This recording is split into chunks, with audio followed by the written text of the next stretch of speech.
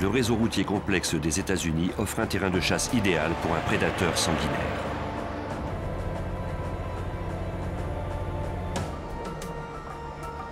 Il choisit ses victimes parmi les autostoppeurs errant sur les routes.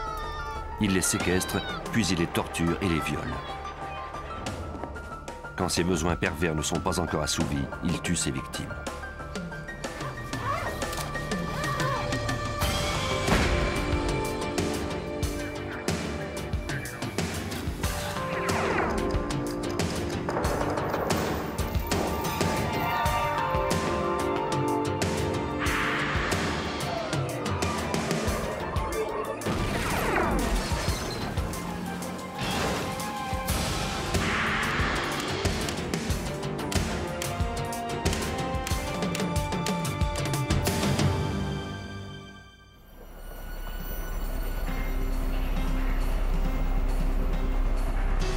5 février 1990, sur une route de Houston, au Texas. Nicole Tuttle, eut 18 ans, tentait désespérément de faire arrêter un automobiliste. Quelqu'un s'arrêta finalement pour prêter secours à la jeune fille. Elle était blessée et en état de choc. Il la conduisit au téléphone le plus près pour appeler la police. Au poste de police de Houston, Nicole déclara aux agents qu'elle avait été kidnappée et violée, mais qu'elle avait réussi à s'échapper. Son supplice avait commencé en Californie une semaine plus tôt. Le 29 janvier, à un relais routier, elle avait demandé à un camionneur de l'emmener avec lui. Il s'appelait, disait-il, Dusty et se dirigeait vers l'est en passant par l'Arizona. Après quelques heures, elle s'endormit dans le compartiment arrière du camion. Il semblait n'attendre que cela. Il la rejoignit et la maîtrisa. Avant qu'elle ne soit complètement réveillée, il l'enchaîna aux parois du camion et la bâillonna avec le mort d'un cheval. Ensuite, il la fouetta et lui perça la peau avec des aiguilles et des hameçons avant de la violer et de la sodomiser. Nicole déclara à la police qu'elle avait été enchaînée dans la cabine pendant six jours. Mais le supplice ne s'était pas arrêté là à l'appartement du camionneur à Houston, il lui permit de prendre un bain. Par la suite, il l'enchaîna au lit et la viola de nouveau. Impuissante, elle l'avait alors vu s'approcher d'elle avec un rasoir à la main. Il appuya la lame près de son cuir chevelu et commença à lui tailler les cheveux. Trois heures plus tard, il la força à monter dans le camion. Cette fois, il négligea de l'attacher. Il s'arrêta à une brasserie pour prendre un chargement et la laissa seule quelques instants. Nicole se dit que c'était peut-être son unique chance de lui échapper. Elle descendit du camion, une laisse attachée à son cou. Dans les environs de Houston, les policiers interceptèrent un camion remorque qui correspondait à la description donnée par Nicole. Mais en apercevant le visage du conducteur, elle déclara que ce n'était pas l'homme qui l'avait attaqué. On vérifia les antécédents de l'homme. Comme on n'y décela rien de significatif, on le relâcha. Nicole demanda aux agents de cesser les recherches. Elle était trop effrayée pour témoigner contre l'homme qui l'avait attaquée. Elle désirait simplement rentrer chez elle en Californie. Le 5 février, soit le jour même où Nicole s'était enfuie du camion, une autre jeune femme faisait de l'autostop. À environ 25 km de Pasadena au Texas, Regina K. Walters, 14 ans, était en fugue avec son nouvel ami. Depuis le divorce de ses parents, Regina habitait principalement chez son père à Houston. Elle était allée rendre visite à sa mère pendant quelques jours. C'est alors qu'elle avait décidé de s'enfuir en faisant de l'autostop. Cette jeune fille qui tentait d'affirmer son indépendance capta l'attention d'un routier. Il s'arrêta pour la faire monter à bord de son camion.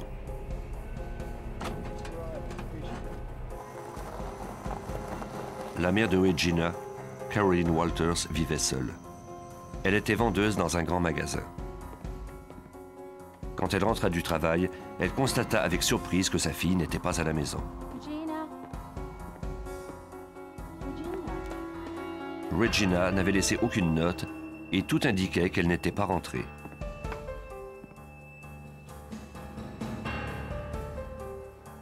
Elle vérifia le répondeur mais ne trouva aucun message. Caroline appela ensuite les amis de sa fille ainsi que son ex-mari à Houston. Personne ne savait où était Regina. Affolée, la mère signala sa disparition à la police de Pasadena.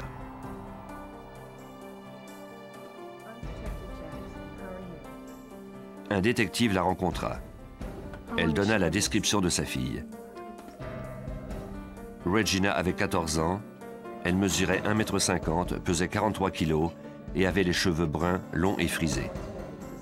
Le détective demanda à Caroline quelle démarche elle avait entreprise pour la retrouver.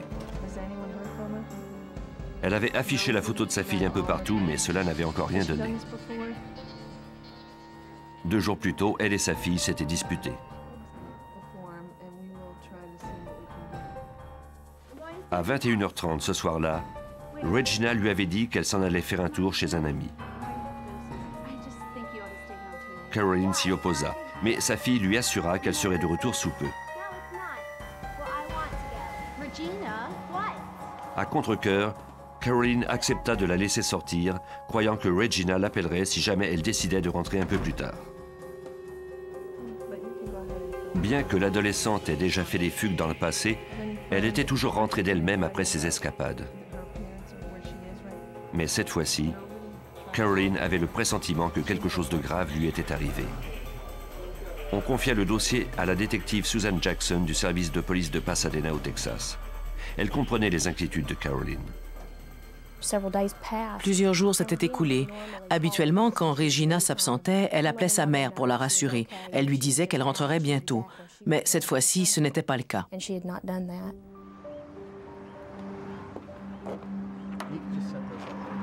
Caroline posa quelques affiches à l'épicerie près de chez elle. Elle gardait espoir que sa fille se portait bien et que rien de mal ne lui était arrivé. Peut-être était-elle simplement chez un ami après tout. Sur l'affiche qu'elle avait placardée un peu partout, Caroline offrait une récompense à quiconque fournirait des informations à son sujet.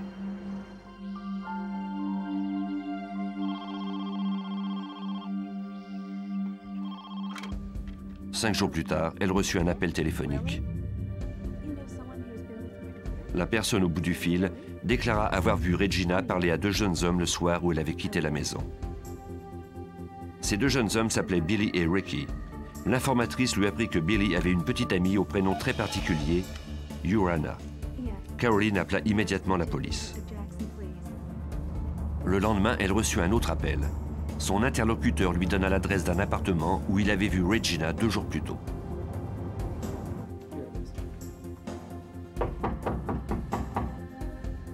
Les policiers se rendirent sur les lieux mais n'obtinrent pas de réponse.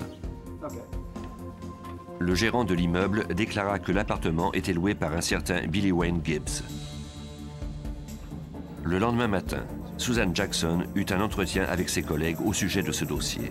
Elle mentionna qu'elle était à la recherche de Gibbs relativement à la disparition de Regina.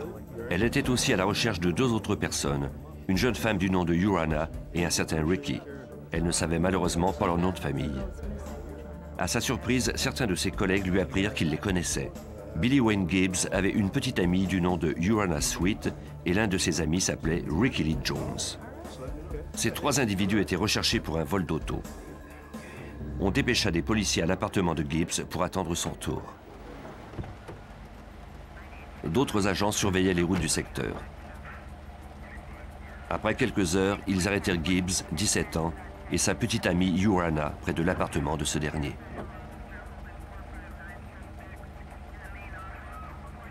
Ils furent menottés et conduits au poste pour subir un interrogatoire.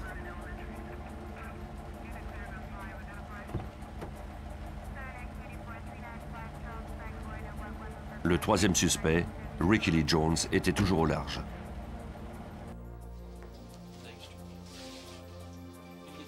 L'agent qui procéda à l'arrestation demanda à Gibbs s'il avait vu Regina ou Ricky Lee Jones.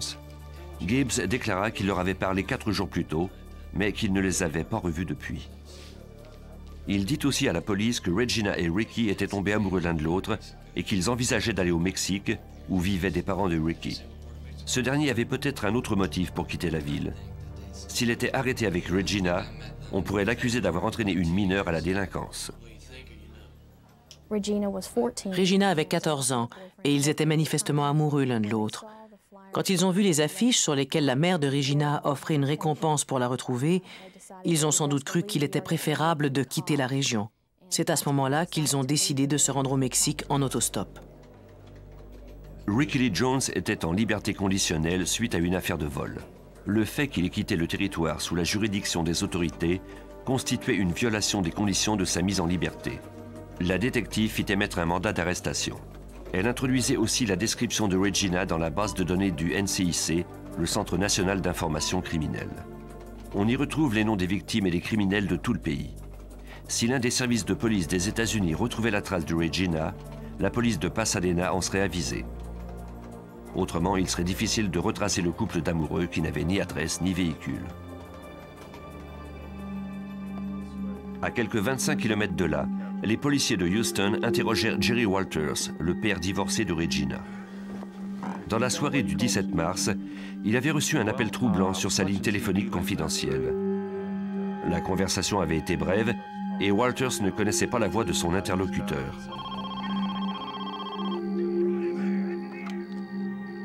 L'homme lui avait demandé s'il était le père de Regina. Walters répondit par l'affirmative. L'homme lui dit alors qu'il savait où se trouvait sa fille. Elle était dans une grange. Il ajouta qu'il l'avait changée et lui avait coupé les cheveux. Le père de Regina le pria alors de lui dire si elle était toujours en vie, mais l'homme raccrocha avant de répondre à sa question. Le détective Jackson demanda à la compagnie de téléphone de retracer l'appel. On l'avisa que ça prendrait quelques jours.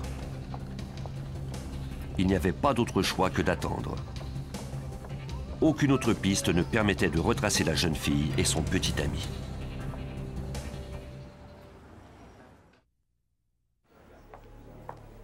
En mars 1990, Susan Jackson de la police de Pasadena au Texas poursuivait ses recherches pour retrouver Regina K. Walters, 14 ans.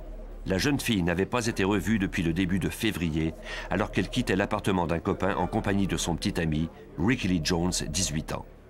Le seul indice dont disposait la détective était un appel téléphonique anonyme fait au père de Regina le 17 mars. Cet appel n'avait pas encore été retracé.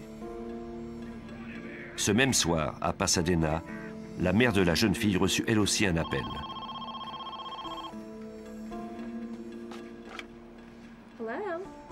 Elle enregistra la conversation comme la police le lui avait conseillé. Un inconnu lui fixa un rendez-vous à l'épicerie à 6h30 le lendemain matin. Il avait quelque chose à lui dire au sujet de Regina et il voulait le faire en personne. Il raccrocha sans donner son nom ni sa description. Caroline communiqua avec Jackson. Cette dernière l'avisa qu'elle courait un danger si elle se rendait seule à ce rendez-vous. Comme Caroline insistait, Susan Jackson décida d'affecter des policiers à sa protection. Les agents de police surveillaient Caroline à distance pendant qu'elle attendait l'inconnu à l'épicerie.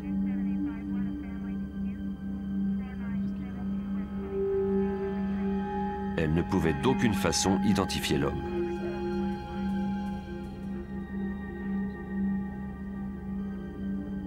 Il faudrait qu'il se présente à elle.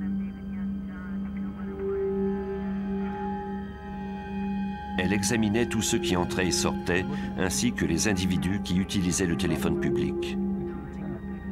Caroline attendit plus de deux heures. Mais son interlocuteur ne se montra pas. Deux jours plus tard, au service de police de Pasadena, on reçut les renseignements demandés au sujet des appels téléphoniques effectués aux parents de Regina. Les policiers apprirent que celui fait à Jerry Walters à Houston provenait d'une station-service à Ennis au Texas, à 320 km de l'endroit où elle avait été vue la dernière fois. Quant à l'appel à la résidence de sa mère à Pasadena, il provenait d'une cabine publique à seulement quelques rues de chez elle. À ce moment-là, nous sommes devenus très inquiets au sujet de Regina. Les deux appels téléphoniques ainsi que les renseignements que nous avions reçus laissaient croire qu'un crime s'était vraisemblablement produit. Les recherches se poursuivirent au Texas jusqu'à l'automne 1990. À Bond, en Illinois, Un agriculteur s'apprêtait à brûler sa vieille grange abandonnée. Il n'y était pas entré depuis quelques années. Il monta au grenier à foin pour y faire une dernière vérification. Il n'y trouva que des objets dont il s'était débarrassé depuis longtemps. Rien ne lui semblait anormal ou déplacé. Puis quelque chose attira son attention. Il regarda de plus près le foin répandu et aperçut ce qui semblait être un squelette humain. Il appela immédiatement la police.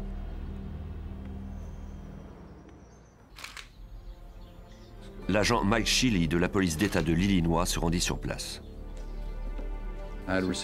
J'avais reçu un appel du bureau du shérif de Bond County. Ils m'ont informé qu'ils avaient trouvé un corps dans un secteur rural près de l'autoroute 70, une autoroute importante qui traverse Bond County de part en part. Des experts effectuèrent une fouille minutieuse de la grange. Ils ne trouvèrent aucun vêtement. Il n'y avait aucune pièce d'identité non plus. Ils recueillirent toutefois un bout de fil blanc qui semblait être là depuis peu. Les policiers photographièrent la scène sous divers angles. Ils trouvèrent ensuite du fil de fer utilisé pour attacher des balles de foin. Il était identique à un bout de fil enroulé autour du cou de la victime. Il y avait encore quelques cheveux sur le crâne. Il était petit, ce qui laissait croire que la victime était sans doute un enfant. Il n'y avait pas eu de meurtre dans la région de Greenville depuis dix ans. Le mystère entourant ce crime était particulièrement troublant. On ne pouvait aucunement savoir si la victime provenait de la région ou si elle avait été abandonnée là par quelqu'un qui avait emprunté l'autoroute 70. À première vue, on ne pouvait déterminer l'âge ou le sexe de la victime. Un anthropologue légiste procéda à l'examen des restes humains. Les informations qu'il en obtint furent très utiles à l'agent Mike Shealy de la police d'État. Mark a pu déterminer qu'il s'agissait d'une jeune fille de 14 à 16 ans et que son poids approximatif était de 40 à 50 kilos. On pouvait voir qu'on lui avait coupé les cheveux. Ceux-ci avaient recommencé à pousser, mais l'expert a affirmé que c'était récent. On attribua le décès à une strangulation. L'assassin avait pratiquement coupé la tête de la victime en lui enroulant du fil de fer autour du cou 16 fois. D'après l'état des articulations et des vertèbres, le meurtre remontait à un an.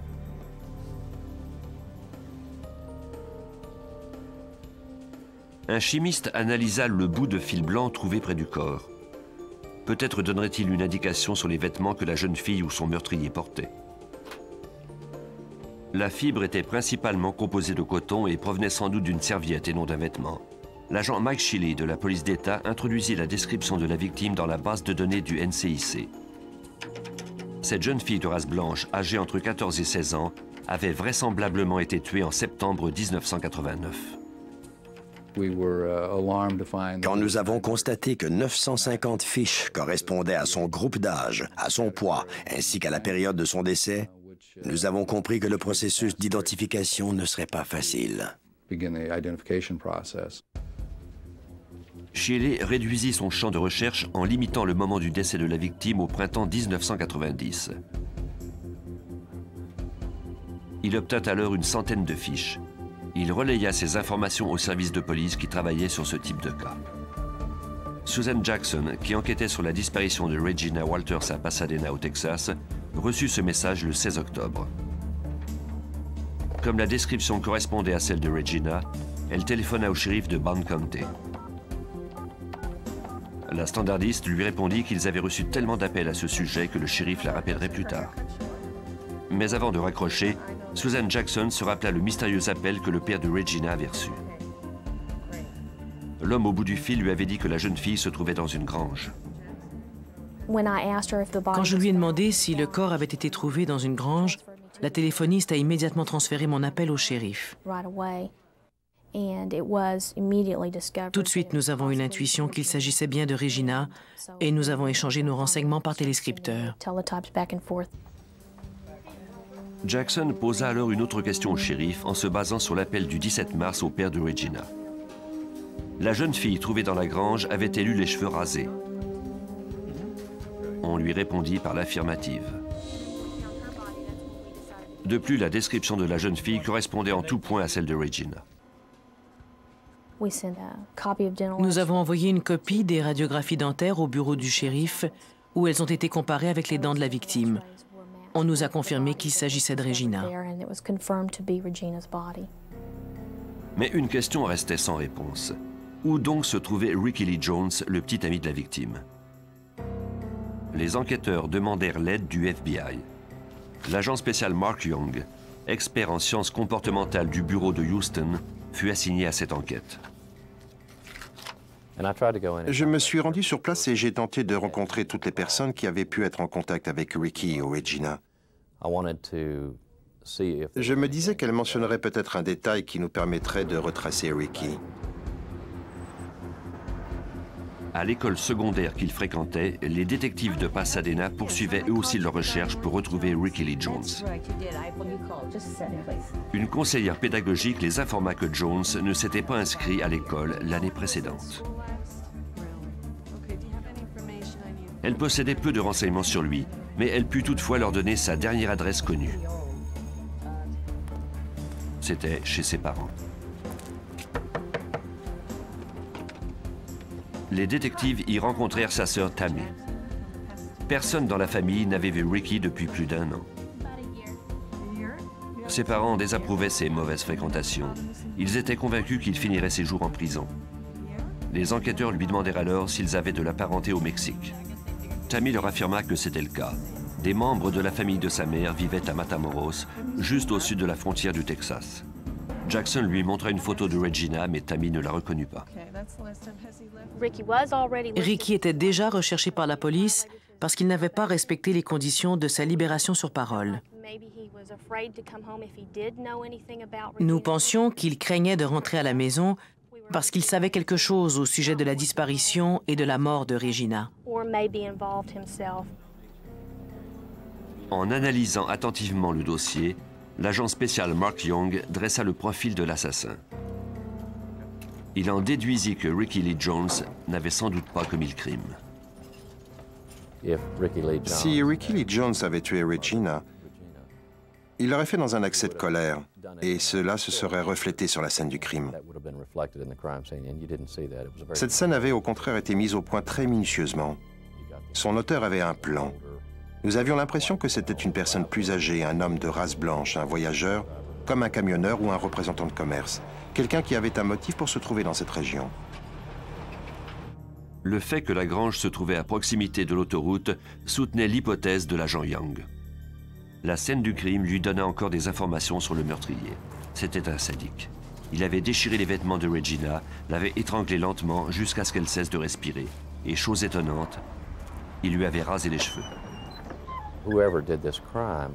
Celui qui avait commis ce crime en avait fait plus que nécessaire.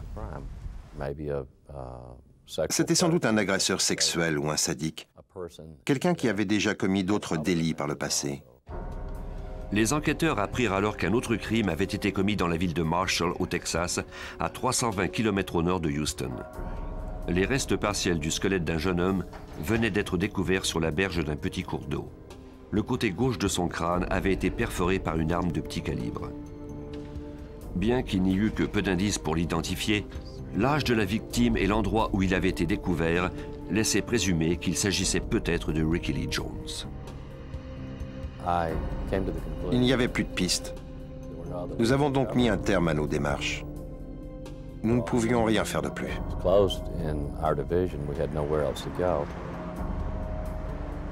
Pour les enquêteurs, il semblait bien que l'homme qui avait tué Regina Kay Walters et son petit ami s'en était tiré.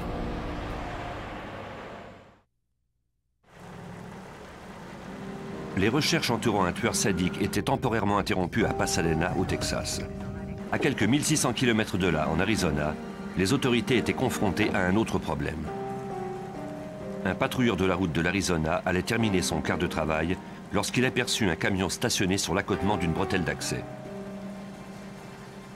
Le véhicule devait être déplacé car il présentait un risque pour les automobilistes. Il constata que les phares étaient allumés et que le moteur tournait encore. En s'approchant de la portière de gauche, l'agent Michael Miller vit un homme sortir soudainement de la cabine et étendre ses bras le long du camion. Je lui ai demandé Que se passe-t-il? Il m'a répondu Rien, monsieur l'agent. Tout va bien. J'ai un pistolet dans ma poche arrière. Il a alors eu un mouvement vers sa poche arrière avant de poser ses mains de nouveau sur le camion. C'était plutôt inhabituel. J'entendais une femme crier à l'intérieur du camion. Miller lui passa les menottes et le fit asseoir sur le siège arrière de sa voiture en vue de le questionner. Il m'a assuré que tout allait bien. La femme qui se trouvait avec lui était consentante. J'ignorais si elle criait simplement parce que je l'avais effrayée ou surprise, et j'étais résolu à faire la lumière sur cette affaire. Une fois Rhodes assis, les mains menottées dans le dos, Miller l'attacha avec la ceinture de sécurité. Il retourna au camion pour vérifier l'état de la femme. On lui avait menotté les poignets et les chevilles aux parois du camion. Le patrouilleur lui assura qu'elle ne courait plus aucun danger. Je lui ai dit qu'elle allait devoir rester là jusqu'à ce que je puisse obtenir de l'aide. De toute évidence, il s'agissait là d'une scène de crime et des experts devaient venir l'analyser. Je lui ai dit de rester calme. Je suis ensuite descendu du camion pour retourner à ma voiture. Miller revint juste à temps. Malgré les menottes, Rhodes avait réussi à ramener ses mains devant lui et à détacher sa ceinture de sécurité. Il s'apprêtait à ouvrir la portière. L'agent lui passa les menottes à nouveau. On procède rarement à des vérifications de routine sur cette route. On ne sait donc jamais à qui l'on a affaire. J'ai froid dans le dos en pensant que cet homme cruel aurait pu nous tuer, moi et la jeune fille, et continuer à circuler en toute impunité. Le service de police de Casa Grande dépêcha des agents sur les lieux. Ils libérèrent la femme de ses entraves et la conduisirent de même que Rhodes au poste de police pour un interrogatoire. Dans le camion, les experts découvrirent tout un arsenal d'instruments de torture. Des chaînes que l'on pouvait attacher à des anneaux soudés à l'arrière du compartiment, des hameçons, des serviettes maculées de sang, un mort à cheval et une valise remplie d'objets de torture. Cette valise contenait aussi une caméra ainsi qu'une poignée de cheveux qui n'étaient pas ceux de la victime. L'inspecteur Rick Barnhart de la police de Casa Grande menait cette enquête. Dans son camion, Robert Rhodes possédait une sorte de trousse de viol. Il disposait de tout un attirail, notamment de longs bâtons munis d'agrafes qu'il utilisait pour tirer et écarteler ses victimes. Il possédait aussi des fouets. Cela m'a convaincu que Rhodes était un prédateur. La femme enchaînée dans le camion de Rhodes s'appelait Kathleen Vine. Elle avait 27 ans. Elle déclara aux enquêteurs que Rose l'avait fait monter à bord de son camion environ une heure plus tôt au relais routier de Rip Griffin, au nord de Phoenix. Elle s'était endormie dans le compartiment à l'arrière. C'est là que le camionneur l'avait assaillie pour ensuite l'enchaîner aux parois du camion. Il lui avait alors dit qu'il s'appelait Whips and Chains, chaînes et fouets, et qu'il s'adonnait à ce genre d'activité depuis 15 ans. La police photographia ses blessures. Elle avait des marques de brûlure au poignet à cause des menottes et elle était couverte de contusions. Elle avait tenté de résister à son assaillant, mais ses mains étaient enchaînées. Tout ce qu'elle pouvait faire pour se défendre était de le mordre. Elle l'avait blessé à l'épaule gauche, assez pour l'empêcher de la violer. Kathleen accepta de déposer des accusations d'agression et d'enlèvement, mais l'inspecteur Barnard voyait bien qu'il aurait de la difficulté à la faire témoigner contre Rhodes.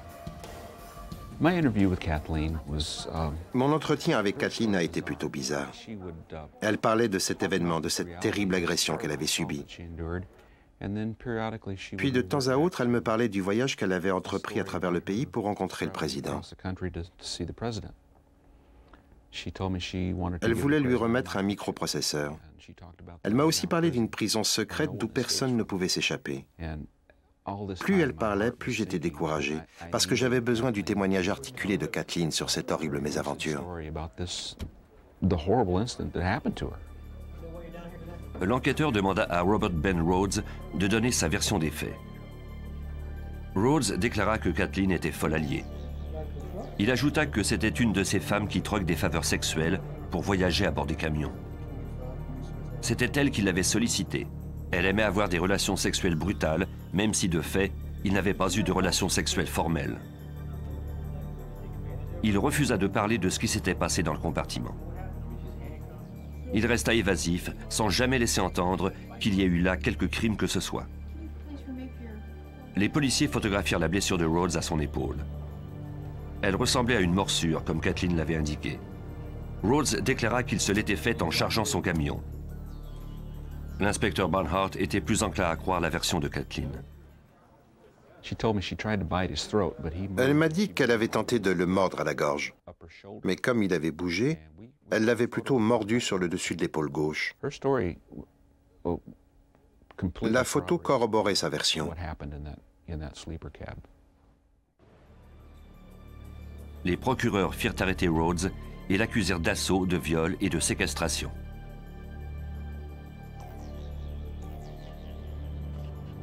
Malheureusement, le seul témoin de la poursuite, Kathleen Vine, était une psychotique paranoïaque. Pour garder le suspect derrière les barreaux, on devait trouver d'autres témoins. Barnhart était hanté par les déclarations de Kathleen. Rhodes lui avait confié qu'il séquestrait des femmes depuis 15 ans. Il introduisit son nom dans le NCIC au cas où d'autres services de police auraient signalé des crimes similaires. Pendant que l'enquêteur poursuivait ses recherches, de nombreux journaux du Sud-Ouest firent état de l'affaire. Un agent de police de Houston lut un article à ce sujet. Le suspect, détenu en Arizona, correspondait à la description d'un individu intercepté dans les environs de Houston plus tôt cette année-là.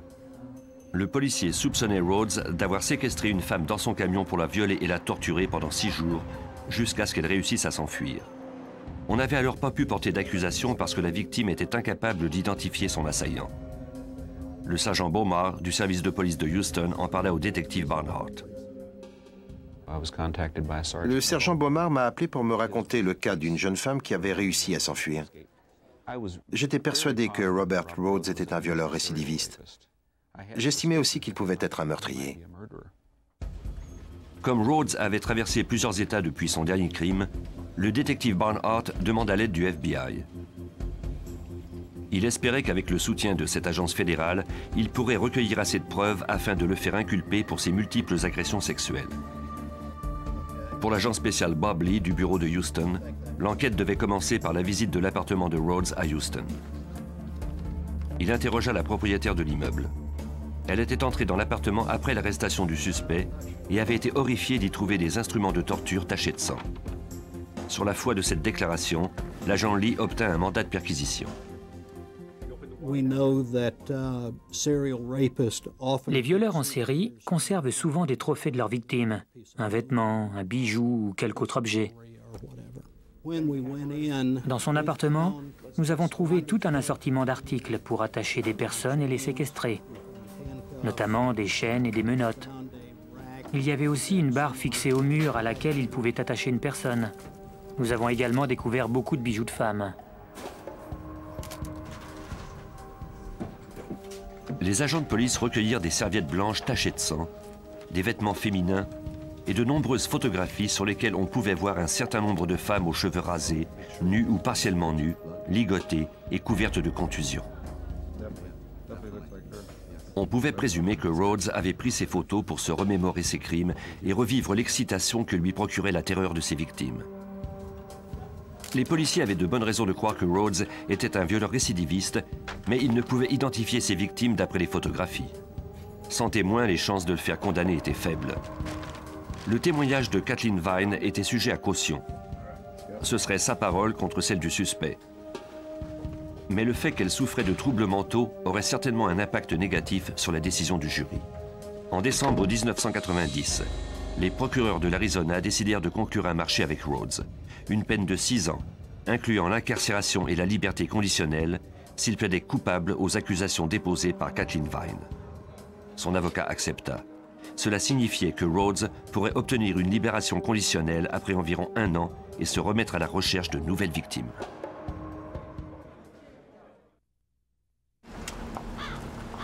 En octobre 1991, Un an après que Regina K. Walters, 14 ans, ait été trouvée assassinée en Illinois, l'enquête n'était toujours pas résolue. L'agent spécial Mark Young, psychologue du FBI, croyait qu'il était possible que le meurtrier soit un camionneur ou un représentant de commerce et qu'il ait des antécédents criminels à caractère sexuel.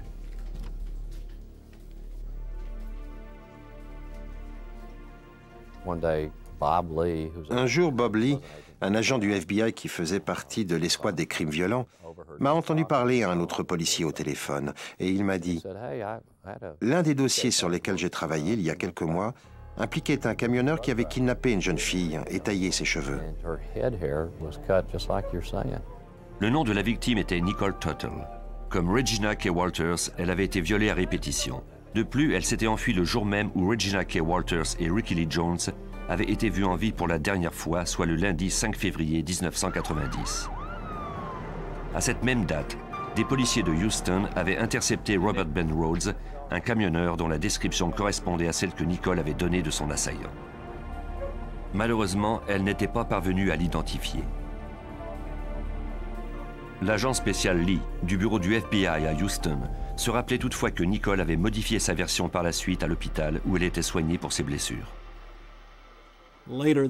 Plus tard dans la soirée, elle a dit aux enquêteurs que Robert Ben Rhodes était bel et bien l'individu qui l'avait kidnappé. Lorsqu'on lui a demandé si elle voulait porter des accusations, elle a dit à l'agent de police qu'elle souhaitait simplement rentrer chez elle. Bob Lee ajouta que Nicole n'était pas l'unique victime du camionneur. Rhodes était incarcéré dans une prison de l'Arizona pour l'agression de Kathleen Vine. Il serait éligible à une libération conditionnelle dans trois mois. L'agent Lee lui décrivit ensuite ce qu'ils avaient trouvé chez Rhodes lors de la perquisition. Ils ont trouvé des photos.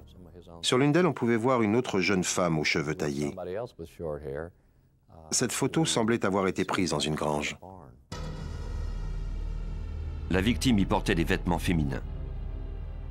Elle était vêtue d'une robe noire et semblait fuir la caméra de Rhodes dans une grange.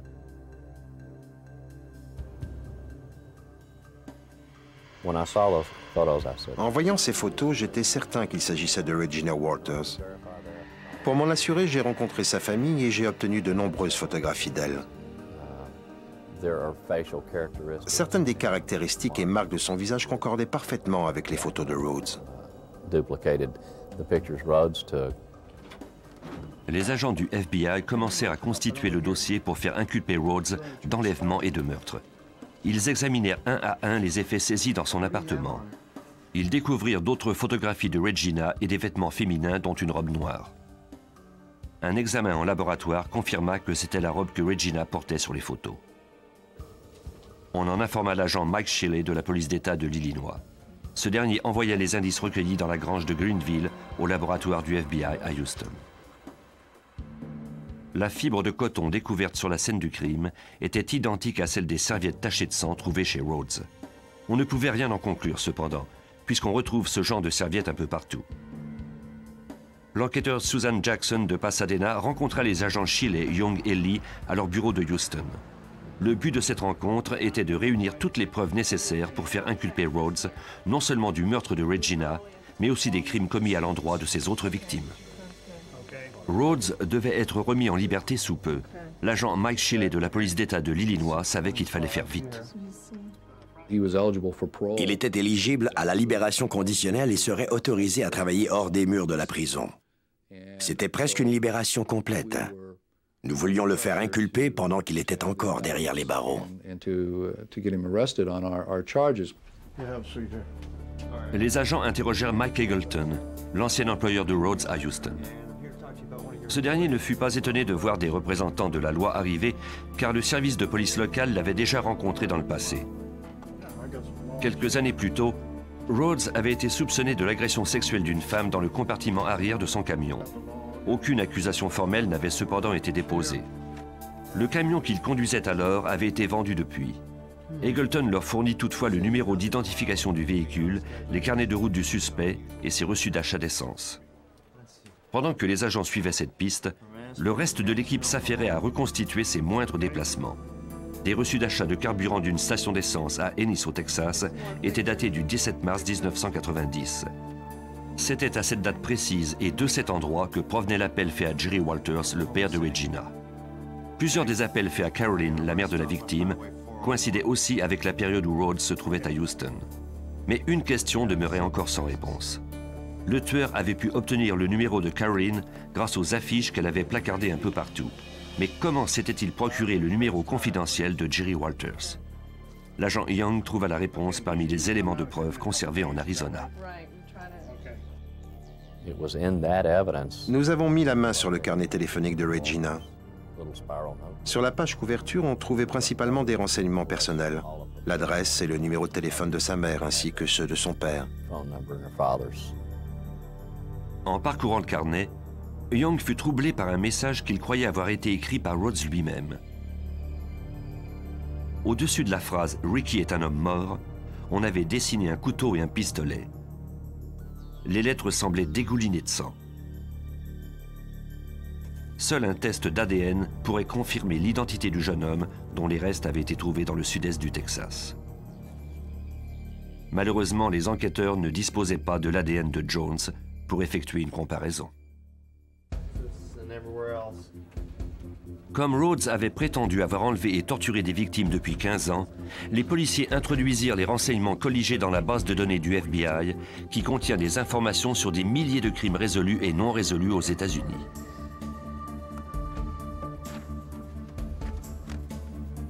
Malgré le manque de renseignements et les blancs dans la reconstitution des déplacements de Rhodes, Susan Jackson obtint une cinquantaine de dossiers d'enquête non résolus d'homicides et de personnes disparues. Elle ne fut pas surprise.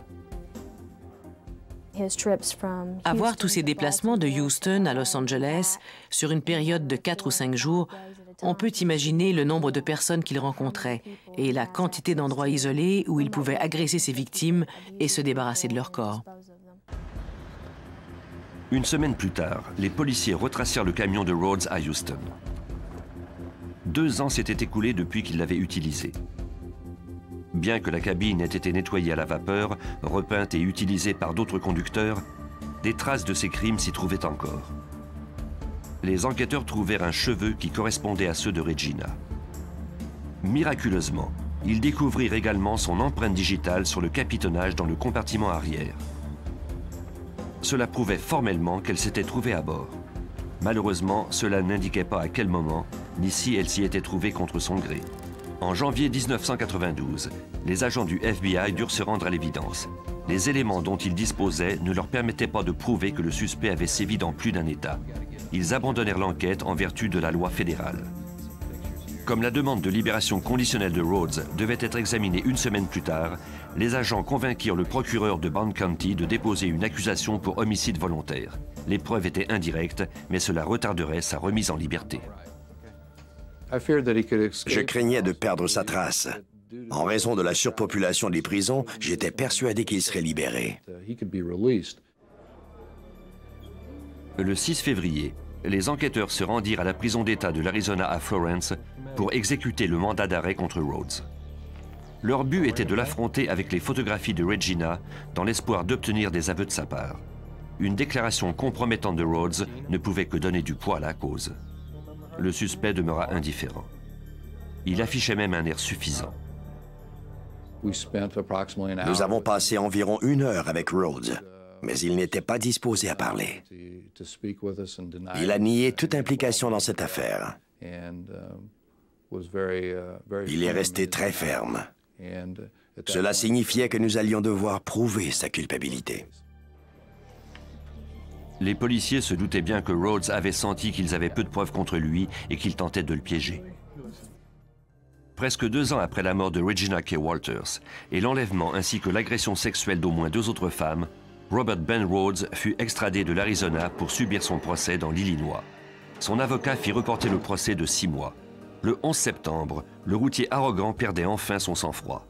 Devant la cour de Bond County en Illinois, son avocat plaida son innocence à l'accusation de meurtre qualifié dont il faisait l'objet. S'il était jugé coupable, il était passible de la peine capitale il accepta le marché qu'on lui proposait, soit de plaider coupable de meurtre au premier degré, ce qui entraînait une peine d'emprisonnement à vie. Rhodes a finalement été condamné à la prison à perpétuité sans possibilité de libération conditionnelle. Même s'il purge sa peine dans un pénitencier à sécurité maximale à Chester en Illinois, les enquêteurs n'ont pas encore classé le dossier. Ils continuent de recueillir des indices, car ils sont déterminés à prouver que Regina K. Walters n'a pas été la seule victime de Rhodes. Nous avons aussi la photo d'une femme qui est déjà montée à bord de son camion. Elle n'a pas encore été identifiée. Nous craignons qu'elle ne soit une autre de ses victimes. Quiconque pénètre dans l'antre d'un tueur en série risque de devenir sa proie. Les enquêteurs travaillent toujours à l'identification des femmes photographiées par Rhodes. Ils espèrent ainsi apporter un certain réconfort aux familles éplorées de ces victimes.